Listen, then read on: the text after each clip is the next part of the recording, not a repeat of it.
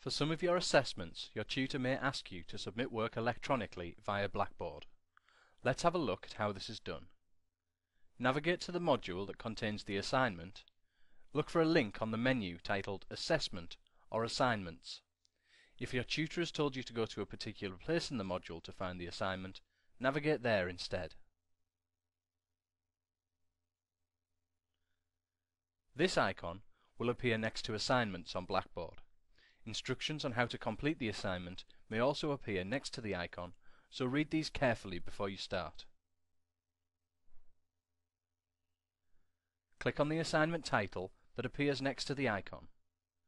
This page shows all of the assignment information, the instructions, the due date, the number of points possible, and any files that your tutor may have attached.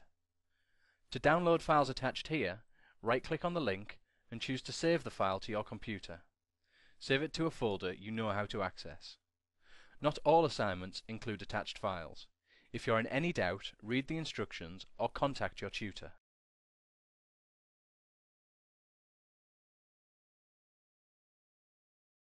Once you've completed the assignment, return to Blackboard to submit it. Navigate back to the module and find the assignment.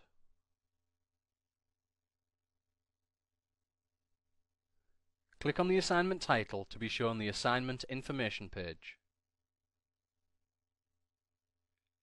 Scroll down the page to section 2. Click the button titled Browse for local file and choose the file you want to submit.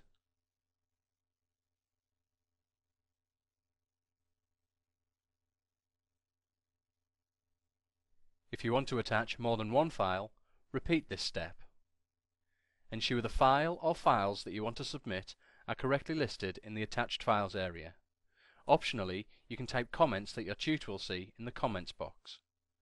The Save as Draft option allows you to save your progress. This does not submit the assignment to your tutor, but will let you return to add more files or make changes. When you're ready, click the Submit button.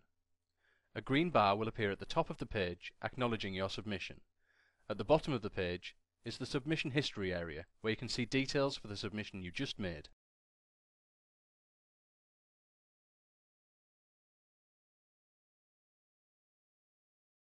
At any time, you can return to Blackboard and view details of the submissions you've made.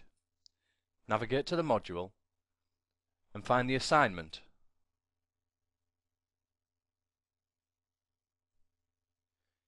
In section 2, you'll see the date and time you made the submission and any files that you submitted. If you want, you can right-click on the link and save the file to your computer to view what you submitted.